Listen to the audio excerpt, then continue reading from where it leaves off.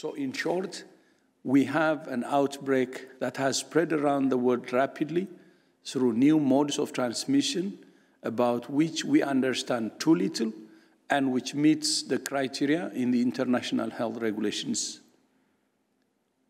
For all of these reasons, I have decided that the global monkeypox outbreak represents a public health emergency of international concern.